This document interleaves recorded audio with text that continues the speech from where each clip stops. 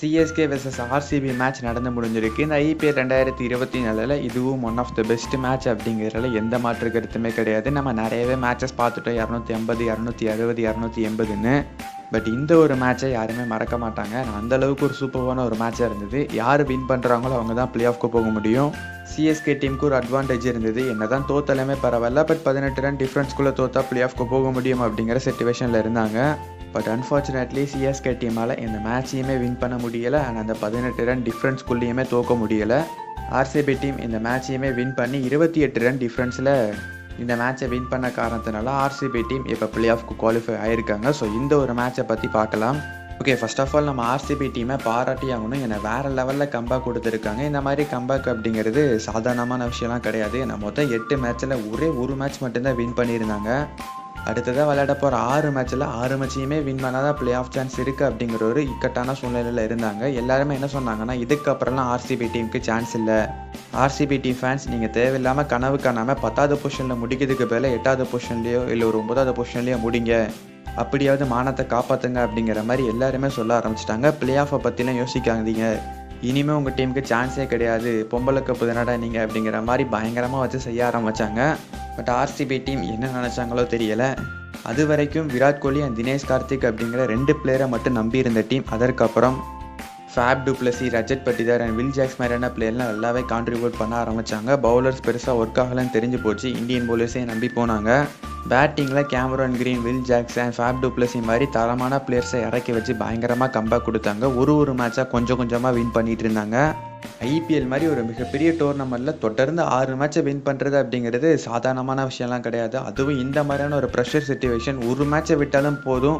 அவ்வளோதான் பிளே ஆஃபை விட்டு எலிமினேட் ஆகிட வேண்டியதான் அப்படிங்கிற முக்கியமான கட்டத்தில் அவ்வளோக்குள்ள ப்ரெஷரான சுச்சுவேஷனில் எப்படியோ ஹேண்டில் பண்ணி டீமை எடுத்துகிட்டு வந்து சிஎஸ்கே வர்சஸ் ஆர்சிபி இந்த மேட்சை வின் பண்ணி ஒரு நல்ல ஒரு நெட் ரேட்டில் வின் பண்ணால் ஆர்சிபி டீம் பிளே ஆஃப்க்கு போக முடியும் அப்படிங்கிற இக்கட்டான சூழ்நிலையில் வந்து நின்னாங்க. அண்ட் ஃபஸ்ட்டு பேட்டிங் படித்ததும் ஆர்சிபி டீம் தான். இவ்வளவு தூரம் கஷ்டப்பட்ட வந்த ஆர்சிபி டீமுக்கு இந்த மேட்ச்லேயுமே நிறையவே பிரச்சனை இருந்தது. இந்த மேட்சை வின் பண்ணால் மட்டும் பத்தாது பதினெட்டு ரன் டிஃப்ரென்ஸில் வின் பண்ணணும். அண்ட் சேசிங் பண்ணாலுமே பதினெட்டு ஓவருக்குள்ளே மேட்சை முடிக்கணும் அப்படிங்கிற ஒரு பிரச்சனை இருந்தது. அண்ட் இதுக்கு போக இன்னொரு ஒரு தலைவலியுமே வந்திருந்தது ஆர்சிபி டீமுக்கு. இந்த மேட்ச்சில் மழை மழை வரப்போகுது அப்படிங்கிற மாதிரி பயங்கரமான ரிப்போர்ட்லாம் நாலு நாளைக்கு முன்னாடியே கொடுக்க ஆரம்பிச்சிட்டாங்க. மேட்ச் எப்படியும் கேன்சல் ஆயிரும் மேட்ச் நடக்காது. ஆர்சிபி டீம் அவ்வளோதான் ஒரு ஒரு பாயிண்ட் கொடுத்துருவாங்க அப்படின்னா சிஎஸ்கே தான் பிளே ஆஃப்க்கு போவாங்க அப்படிங்கிற மாதிரிலாம் சொல்ல ஆரம்பிச்சிட்டாங்க. அவங்க சொன்ன மாதிரியே மேட்ச்சில் மழை வந்திருந்தது. ஒரு டென் மினிட்ஸ் கிட்ட மழை வந்திருந்தது. அண்ட் அடுத்த டென் மினிட்ஸ்லேயே உடனே க்ளீன் பண்ணி எட்டு இருபத்தஞ்சுக்கெலாம் மேட்ச்சை ஸ்டார்ட் பண்ணிட்டாங்க. இது ஆர்சிபி டீமோட நல்ல நேரம் அப்படிங்கிற மாதிரி தான் நினைக்கிறேன். ஏன்னா இந்த மேட்ச் ஆரம்பிக்கிறதுக்கு முன்னக்குட்டி ஆர்சிபி ஃபேன் மட்டும் கிடையாது. சிஎஸ்கே டீம் ஃபேன்ஸுமே கொஞ்சம் வருத்தப்பட்டிருப்பாங்க ஆர்சிபி டீமை நினச்சி ஏன்னா அஞ்சு மேட்சை தொடர்ந்து வின் பண்ணி இந்த ஒரு மேட்ச்சுக்கு வந்திருக்காங்க. இந்த மேட்சை வின் பண்ணால் தான் பிளே ஆஃப் பட் இந்த மேட்ச்லேயுமே ஆர்சிபி டீமுக்கு இவ்வளோ பிரச்சனை இருக்குது மழை வந்து எப்படியும் கேன்சல் ஆகிடக்கூடாது அவங்க தோற்று பிளே ஆஃபை விட்டு வெளியே போனால் கூட எதுவும் தெரியாது. பட் மழை வந்து அவங்க வெளியே போகக்கூடாது அப்படிங்கிற மாதிரி தான் நிறையவே சிஎஸ்கே ஃபேன்ஸும் நினச்சிக்கிட்டு இருந்திருப்பாங்க. பட் அந்த மாதிரி எதுவுமே நடக்கலை. மேட்ச் எட்டு இருபத்தஞ்சுக்கெலாம் ஸ்டார்ட் பண்ணிட்டாங்க. நல்லாவே ஸ்டார்ட் கொடுத்த ஆர்சிபி டீமோட பேட்ஸ்மேன்ஸ் அடுத்தடுத்து கொஞ்சம் ஸ்ட்ரகிள் பண்ணாங்க. சிஎஸ்கே டீமோட ஸ்பின்னர் ரொம்பவே நல்லா போட்டாங்க. சாட்னர் நல்லா பண்ணார். பட் இருந்தாலும் ஆர்சிபி டீம் அதற்கப்புறமும் சீக்கிரம் கம்பா கொடுத்தாங்க. அதுக்கு காரணம் Cameron Green and Rajat Patidar இந்த ரெண்டு பிளேயருமே நல்லா பண்ணியிருந்தாங்க. அண்ட் கடைசியாக நம்ம டிகே அண்ட் மேக்ஸி இந்த ரெண்டு பிளேயருமே சின்ன ஒரு கேமியோ கொடுத்து நல்ல ஒரு ஸ்கோரை ஃபினிஷ் பண்ணியிருந்தாங்க ஆர்சிபி டீம் இரநூத்தி பதினெட்டு ரன் கிட்ட வந்துட்டாங்க. அண்ட் பதினெட்டு ரன் டிஃப்ரென்ஸில் ஆர்சிபி டீம் இந்த மேட்சை வின் பண்ணணும். அப்படின்னா தான் பிளே ஆஃப்க்கு போக முடியும். ஸோ அப்படி பார்த்தா சிஎஸ்கே டீமோட டார்கெட் இரநூத்தி ஒன்று அப்படிங்கிற மாதிரி தான் இருக்கும். அவங்களுக்கு அதை அடித்தாலே போதும் அப்படிங்கிற மைண்ட் செட்டில் தான் வருவாங்க. ஸோ மேட்ச் பயங்கரமாக இருக்க போகுது அப்படிங்கிற மாதிரி தான் நினச்சோம். அதே மாதிரி செகண்ட் டென்னே ஸ்டார்ட் ஆனது. ருத்துவோட விக்கெட்டை மொதல் பால்லே தூக்குனாங்க. அண்ட் கொஞ்ச நேரத்தில் டேரியல் மிச்சலோட விக்கெட்டும் போயிடுச்சு. இத்தோட மேட்ச் முடிஞ்சிடுச்சுட்டான்னு நினைக்கும் போது நம்ம ரச்சின் ரவீந்திரா அண்ட் அஜிங்கியா ரஹானே இந்த ரெண்டு பிளேயருமே நல்ல ஒரு பார்ட்னர்ஷிப் போட்டு நல்ல ஒரு ஸ்கோருக்கு எடுத்துகிட்டு வந்தாங்க.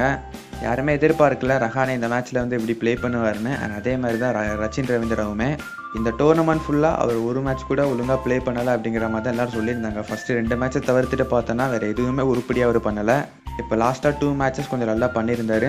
ஸோ இந்த மேட்ச்சில் ஃபிஃப்டி அடித்து சிஎஸ்கே டீமை நல்ல ஒரு நிலைமைக்கு எடுத்துகிட்டு வந்திருந்தார். பட் அதற்கப்புறம் நம்ம சிவம் டுபே வேலை நல்லா ப்ளே பண்ண முடியல. மேபி அவர் அடிச்சிருந்தாருன்னா இந்த மேட்சை சிஎஸ்கே டீம் கம்ஃபர்டபுளாக வின் பண்ணுறாங்களோ இல்லையோ பட் எப்படியாவது பிளே ஆஃப்க்கு போயிருப்பாங்க. பட் அவரால் சுத்தமாக அடிக்க முடியலங்க. பதினாலு பாலுக்கு ஏழு ரன் அப்படிங்கிற மாதிரிலாம் நின்று நின்றுட்டு இருந்தார்.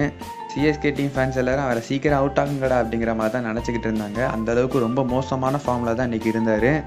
மிச்சல் சாக்னராலையுமே பெருசாக எதுவும் பண்ண முடியல. ஸோ கடைசியாக தோனி ஒரு இருபத்தஞ்சு ரன் அடிச்சிருந்தாரு.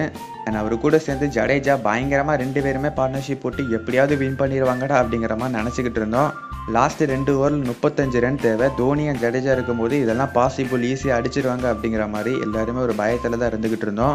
ரெண்டாயிரத்தி இருபத்தி மூணு ஐபிஎல் ஃபைனலில் எந்த ஒரு ப்ரெஷர் இருந்ததோ அதே மாதிரியான ப்ரெஷர் தான் இந்த ஒரு மேட்ச்லேயுமே இருந்திருந்தது.